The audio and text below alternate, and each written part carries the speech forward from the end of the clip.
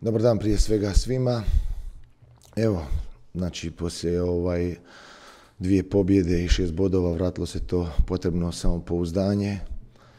Ekipa je na dobrom putu. Očekuje nas jedna teška utakmica sa prvakom Dinamom Zagrebom. Za nas iznimno važna utakmica gdje želimo nova tri boda, želimo pobjedu, želimo što prije osigurati to treće mjesto i osigurati plasman u Europu. Mi smo toga svjesni, imamo dovoljno snage i kvalitete da to napravimo i očekujem jednu dobru utakmicu i u nedjelju. Sa nama je naš kolega Mateo koji će pomoći s prevođenjem na španjolski jezik jer Ramon će odgovarati na svom jeziku, dakle na španjolskom. Pa evo i naš prvi topnik može nešto reći o samoj atmosferi nakon dva lijepa rezultata koje su oni su igrači ostvarili u posljednja dva kola. Bueno, eh, buenas tardes. Eh, nada, la verdad que, que tenemos un partido difícil, eh, pero creo que es muy lindo jugarlo y, y creo que es un importante paso para nosotros, tanto como para el equipo. Eh, ganar y, poner al equipo nuevamente en la pelea para, la Europa, ¿no? Pa evo, Ramon je prije svega pozdravio sve, kaže da imamo jako tešku utakmicu pred nama, ali da je jako lijepo igrat e, takve utakmice. Naravno, svjestan je trenutka, odnosno da ova utakmica može biti e, jako važna i da momčad može dobrim rezultatom napraviti veliki korak prema osiguravanju europskog plasmana. Eto, za uvod dovoljno. Gospodin Kerže, prvo pitanje je vaše. Gospodine Domas, prvo čestitam na ovim dvijema pobjedama, međutim moram pitati, kao svjedočeni dinamovac, kako ćete se vi u nedjelju osjećati na klupi suporničke momčadi, ili ste vi isto pobornik teze da je profesionalizam iz sporta, pa tako i nogometa, eliminirao svaku emociju, pa tako i osjećaj pripadnosti bilo kojem klubu? Sigurno da da, ja imam isto primjer, znači sam igrao u dva kluba u Turskoj dva velika rivala Fenerbahče i Galatasaray i kad sam igrao za Fenerbahče sam ovaj, davao cijeloga sebe i za uspjeh Fenerbahče, a kada sam prešao u Galatasaray isto tako ovaj, sam osvajao prvenstva kao da sam od prvog dana navijač ili Galatasaraya. Isto tako danas sutra da dođe ponuda ili Fenerbahča ili Galatasaraya. Ja sam profesionalac i moje emocije i rade za, žive za onaj klub gdje radim. I danas, sutra, Dinamo, uopće ja ne mogu se ovaj, tako postaviti, uopće ne razmišljam. Razmišljam samo o Osijeku, moje srce tu, moja duša tu, ja živim za ovaj klub, za ovaj grad i ja želim uh, uspjeh uh, sa Osijekom. Možemo dalje. Na pitanje Darijan Draković, televizija Slavonije i Barenje. Ramona, evo, u odličnoj si golgeterskoj seriji, a i zadnji derbi si odlučio ovdje pogodkom pobjeda protiv Dinama, jel se može nešto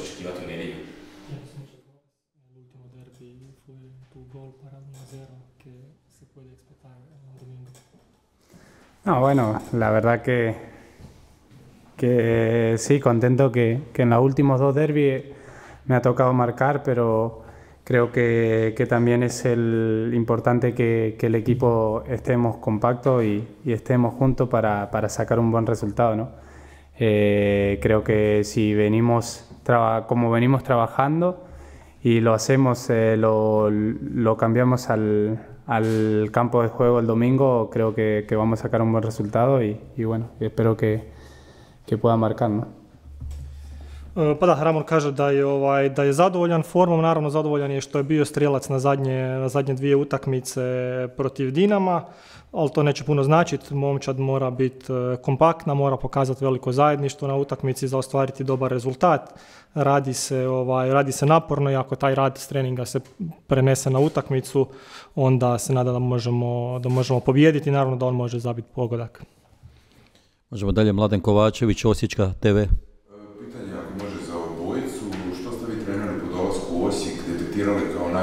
Problem zbog čega je Osijek bio toliko dugo u toj skoro tri mjeseca crnoj rupi i za Ramona e, što je dolazak novog trenera promijenio slačionicu, da se izašlo, uspjelo izaći iz te crne serije? Pa što sam detektirao? Sigurno da sam detektirao taj jedan crni niz od 11-12 utakmica bez pobjede i to je sigurno bilo ovaj, u glavama igrača jedna psihološka barijera. Radio sam puno na toj psihološkoj barijeri, uvjeravanjem igrača da su oni kvaliteta, da oni mogu to napraviti na terenu i na prvu smo se kliknuli, izašla je na vidjelo i ta energija i to se pokazalo na terenu ove dvije utakmice gdje smo osvojili šest bodova, ali mi ne mislimo stati, mi mislimo nastaviti dalje. Naš krajnji cilj je Europa i mi moramo se fokusirati na to i moramo napraviti sve da budemo sljedeće godine u Europi. Ramon? Bueno, creo que, que lo que más se cambió fue la, la energía, cambió nuestro chip, creo que que dentro del vestuario estábamos demasiado relajados y, y no nos damos cuenta que, que, estábamos perdiendo la posibilidad de mantenernos en Europa y hasta que, ha llegado el míster y nos, ha, ha hecho dar cuenta de que, que estábamos tan poco de quedar afuera o, este, o permanecer en Europa y, creo que, que fue importante que todo el equipo haya... Eh, aceptado su lo que él nos haya dicho y, eso fue bueno para cambiarlo inmediatamente en tan poco tiempo. ¿no?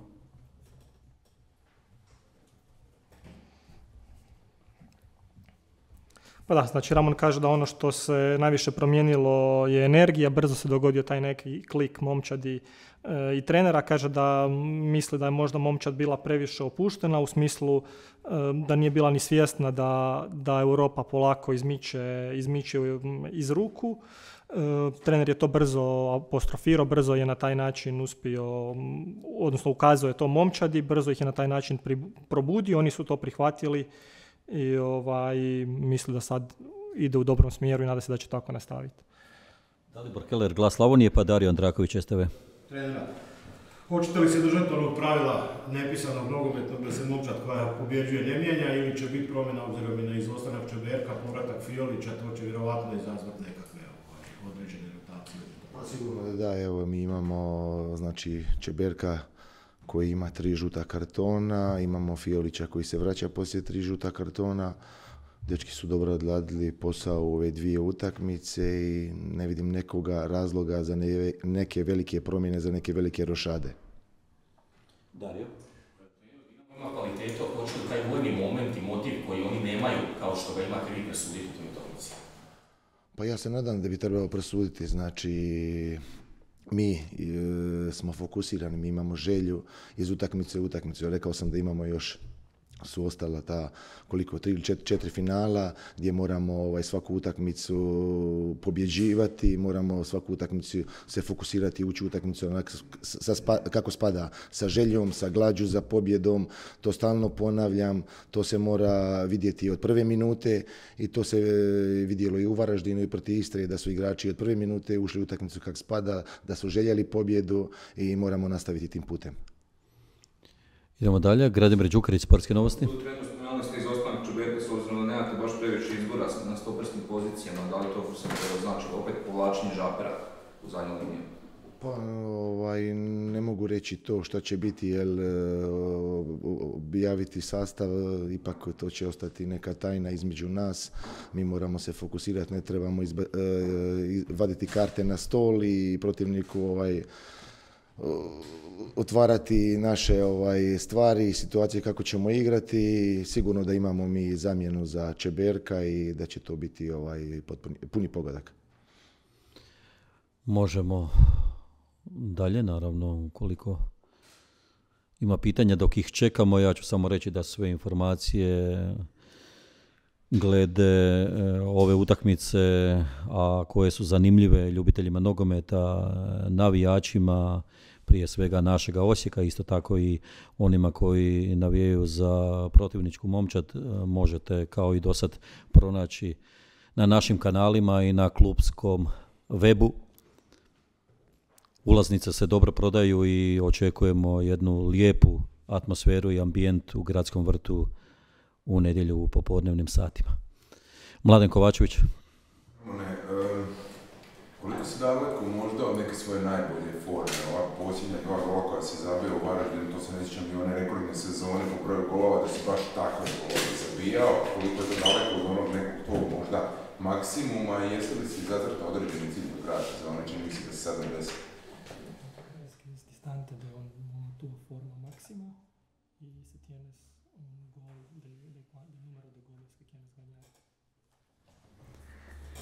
No, bueno, lo importante creo que es eh, cada partido aportar en lo que pueda el equipo para poder ganar, ¿no? Creo que, que en el momento que estamos no, no quiero mirar individualmente. Eh, creo que lo mejor sería de mirar partido a partido y el domingo tenemos un gran partido y bueno, dar lo mejor de mí para, para poder marcar y ayudar al equipo, ¿no? Creo que esa es la mejor manera de, de estar en, continuando en forma.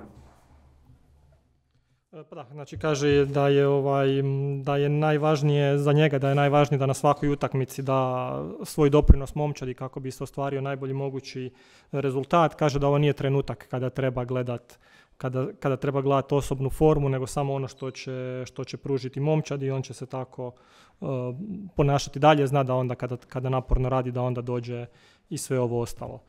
La seconda pregunta es de un número de goles. Eh, la verdad que, que, bueno, como delantero uno quiere marcar lo máximo posible, ¿no? Pero vuelvo a lo, a lo anterior. Eh, para mí, con marcar y que, le, que, el equipo tenga buen resultado, un resultado final bueno, creo que, que, es importante. Y si no me toca, pero mientras siga el resultado bueno, creo que también me hace feliz. ¿no? Normalno kao napadač volio bi zabiti najveći mogući broj golova, ali opet ponavlja da u ovom trenutku momčad ta koja je ključna i ako će momčad pobjeđivati da nije, da nije bitno ko će zabijati golove, a s druge strane naravno ako bude još pobjeda vjeruje da će i on još koji put biti strijelac. Dario? Želja za igrat na novom stadionu na Pamposu i Osijek Vojsku u europskoj utakmici, znači da osviješ na ljeto. ¿Quieres jugar en el nuevo estadio y los partidos europeos? Bueno, sí, la verdad que, que como, como jugador, perdón, eh, todos queremos debutar ¿no? y, y, y, estar jugando en el estadio nuevo que, que estamos esperando hace, hace, tiempo. Así que nada, eh, esperemos que, que, los resultados nos acompañen, que demos también a, tanto como a nosotros como equipo, también a la gente la oportunidad de, de poder estrenar ese estadio con la Europa, ¿no? Pa da, kao i, kao i svi igrači, želja mu je, kao i svim igračima želja mu je zaigrati na novom stadionu kojeg se željno iščekuje i naravno da, nada se da će, da će rezultati to sve popratiti, odnosno da će, i, da će oni sami sebi kao igrači, odnosno da će i navijačima uh, uspjet donijeti Europu na novom stadionu. Imamo li još pitanje, Gradimire? Dovoljno ste već dugo, ovaj, uh, da ste, još sve, da ste još bolje upoznali momčad. Koliko, evo sad nakon ovog vremena uh, imate sliku, koliko je momčad ispratilo vaše zahtjeve? Koliko je blizu da? Pa mogu reći ovaj, da je dosta ovaj, me momčad prati, da je većinom ispunila te zahtjeve, nismo još sigurno na 100%, negdje na 80%, ima tu još prostora za napredak. U fazama napada, generalno gledajući fazu obrane, dosta smo tu napredovali. Dosta, ovaj, evo, u dvije utakmice smo primili samo, znači, jeli, jedan gol, zabili smo četiri. E, možemo još puno poraditi na toj fazi napada, ali generalno gledajući iz utakmice u utakmicu, iz dana u dana ćemo se dizati u, i u fazi obrane i u fazi napada. Dalibor Keller? Treneru, kako da skoči Dinamo? Ili oni uopće nekakve slabosti, pretpostavljam da ste ih analizirali? Pa Dinamo smo analizirali, spremni smo za Dinamo, znamo sve njihove prednosti i mane, znamo vrline, znači što mogu napraviti, na koji način igraju. Mi smo kroz ovih par dana treninga to sve ovaj, analizirali, trenirali, radili smo na nekim našim automatizmima i ja se nadam da u nedjelju će ovaj, to sve se ovaj, e, odraditi na terenu i ako odradimo onako kao što smo trenirali i planirali, mislim da ćemo ovaj, izvući jako dobar rezultat. Imamo li još pitanja? Budući da se polako opraštamo od gradskog vrta, da ulazimo u to razdoblje kada tek još poneka utakmica ostaje na ovom našem stadionu za kojega nas vežu brojne emocije. Vjerujem kao i svi u našem klubu da će se te emocije pokazati i u preostale dvije domaće utakmice počevši od ovog derbija s Dinamom da će ljudi doći na tribine, biti podrška, dobro se podružiti, navijati za naš Osijek i da dostojno ispratimo ovaj stadion u onom smislu preseljenja na našu novu lokaciju, novu bazu na Pampasu. Imamo još jedno pitanje, Mladen Kovačević. pitanje, bez potrebe za ulaženje u detalje, priprema klub nešto posebnije za, pogotovo posljednju utakmicu protiv Rijeke? Pa evo, u smislu nekih priprema mogli ste već i, i sami primijetiti kroz taj poziv svim e, navijačima, kroz ono što ćemo i darivati našim vjernim navijačima, da ne želimo samo prijeći s jednog objekta na drugi, da to prođe e, bez one, evo često naglašavam tu riječ, prave emocije. Jer emocija je definitivno gradski vrt i jasno je svima da ćemo još prepričavati dugo i nakon te posljednje utakmice sve ono što smo zajedno proživjeli na ovom stadionu.